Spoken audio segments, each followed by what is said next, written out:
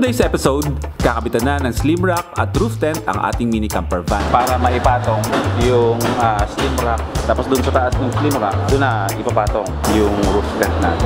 Slim rock pa lang ang pogi na tignan. Tuloy-tuloy na ang makeover ni Watod. Siyempre, SR Performance Off-Road ang gagawa niyan.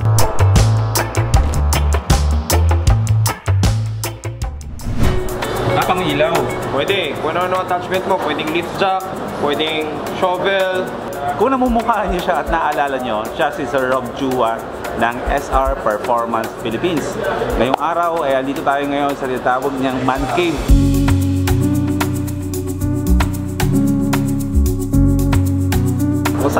Dito siya tatrabaho, workplace na parang haven din niya. Kasi nga, andito lahat ng mga 4x4 ng mga sasakyan niya. All about 4x4. Parang playground mo to. Playground. Actually, yung shop ko gagawin sa likod. Magkaka-lifter. Kung nakikita mo ito, magiging times 3. Wow. So, from 200 square, magiging 750 square. Magkakaroon ng vendors, fabrications, pero lahat pang sarili ko. Pag makatila ako, gusto ko bumuo ng ito, Ah. bumuo ng ganyan, bumuo ng ano. Itong van na to is a camper van slash a roving coffee van. So, ngayong araw, bago ang lahat, ah, gusto ko muna magpasalamat kay Sir Rob Chua ng SR Performance na sinuportahan niya tayo para i-build yung ating camper van. Kung dati yung camper van natin ay ginawa natin ng para-paraan lang, lahat detachable, lahat may maikabit lang para magamit natin sa biyahe. Excited na ako sa kalalabasan na itong van na to. Interior natin, more on woods, pansamantala. Kasi talagang nung panahon na yon medyo na, na nababaliw-baliw na ako pagdating sa van life. Ay gumawa lang tayo ng paraan para maremedyohan na meron tayong na magkaroon tayo ng komportableng space, lagayan ng ating mga gamit. Pero this time, mas gumanda na. At pagdating naman sa labas, is puro SR naman ang gamit natin.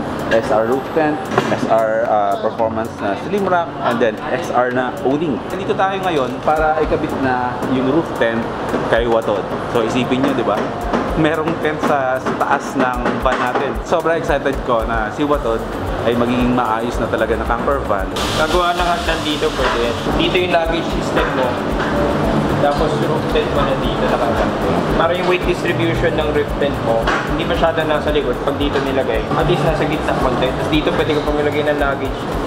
In-exit ko muna siya kay Coffee Break PH habang si Coffee Break PH ay nagpuputol-putol na ng mga woods na kakailanganin sa interior ng ating minivan na si Watod. Pero once na nabuo niya lahat yun, sasalpak na lang niya lahat yan. So syempre bago ikabit yung ah, roof tent, kailangan ng slim rack. Eh nung nakausap ko si Sir Rob, tinanong niya kung meron ako slim rack. Sabi ko meron naman, pero sabi niya hindi po pwede yung slim rack ko. Kaya nag-provide ng SR Performance ng slim rack na SR din syempre para pagpatungan ng ating roof tent. Yan yung ina-assemble nila ngayon.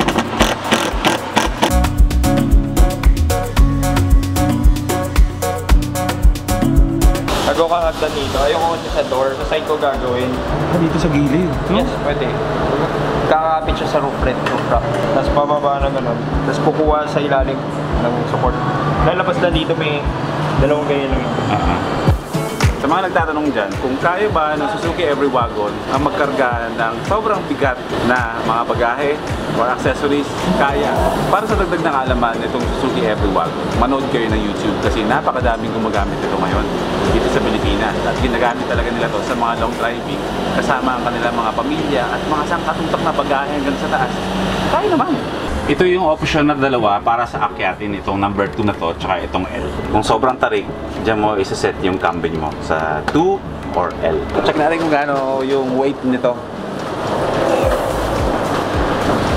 Kaya ng isang kamay. May kabigatan pero kaya ng isang kamay.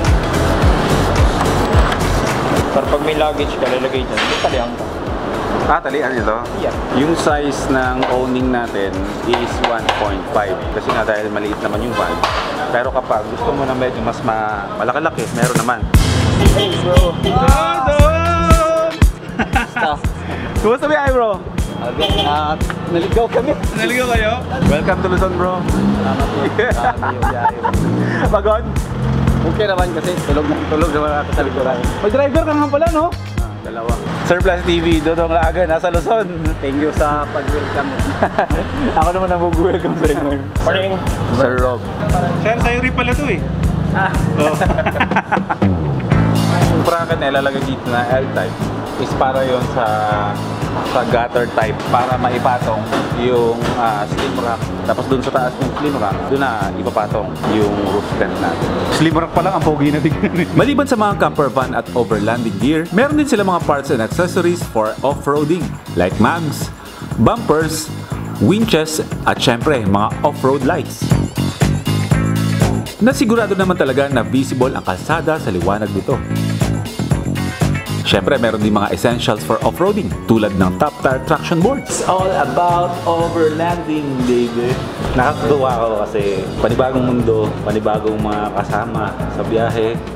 Malaking karangalan sa akin na mayroong isang SR performance na kasama sa bagong journey natin na to sa pag-van life. Maraming maraming salamat, Sir Rob. Makakaasa ka. Kay Boy First Time. Thank you. Ito na yung ating tent. Nilalagay lang yung bracket na mag-fit doon sa slim rack natin. Hagdanan, adjustable hagdanan. Pag sinabing SR Performance, quality yan. Di lang sa mga produkto nila, pati rin sa pag-install. Nire-retouch ng paint lahat ng board. Sure na sure na walang corrosion. Pinapatungan pa namin lang. Talaga totoo ang may-ari ng SR sa installation. At hindi talaga siya pumapayag na wala siyang touch sa pag-install. Parang may optional, pwede kang maglagay ng cube lights mo. Kung ano-ano attachment mo, pwedeng lift jack, pwedeng shovel, multiple hole para marami kang pwedeng ilagay-ilagay. Kailangan super fit at perfect ang pagkaka-install. Tapos nang maikabit ang slim rack, it's time to install the roof tent.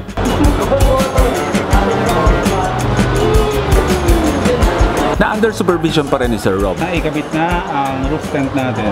Makikita niyo mamaya yung kalalabasan kung ano yung itsura ng van natin na pag nakabukas na yung tent. Huwag kayo magalala kasi may cover naman yan ako rin. Sabi nga niya, perfectionist siya. Sobrang OC niya sa pag-install, kaya sure yan. Perfect ang installation. So that you'll have extra luggage space here. Tapos ito, may tie-down area tayo. Dito ka mag-hook kaysa sa roof rack. At least mas malinis, mas maayos. Fuel tank or etc. that you want, yan, may space ka pa sa likod. Diba? What's good about this is it's aluminum. So everywhere you go, mapa-beach ka or full aluminum. Yung roof tent natin is aluminum. The roof rack is aluminum so wala kang problema sa corrosion. Okay, abandan natin. Bubuksan na yung tent.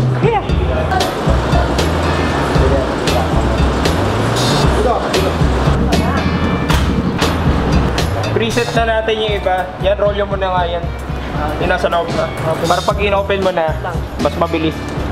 Kapag tawag namin doon, pinipreset na namin siya. Uh, niro-roll na namin yung inner na, ano, na cover. Permanent yan. Iiwan na namin nakagayan yan. Para pagpasok mo, yung, tent, yung net na lang yung bubuksan.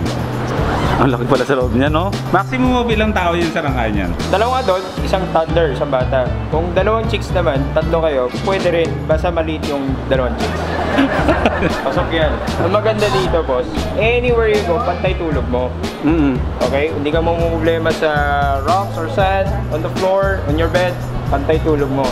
Tsaka kung malikot ka sa gabi, yung i i i i i i wala, mali Walang smooth yan pare. Unless na lang sa suspension mo kung maingay yung suspension mo. So kung may gagawin ka sa camping site mo, walang problema yan. Actually, additional water sealant lang itong mga to. Kaso hindi lang kasi leveled out yung side natin. Ah. So pag ni-level out yan, papantay dapat to eh, tapos ito makakross mo dapat. At first, when you assemble it, matagal-tagal lang.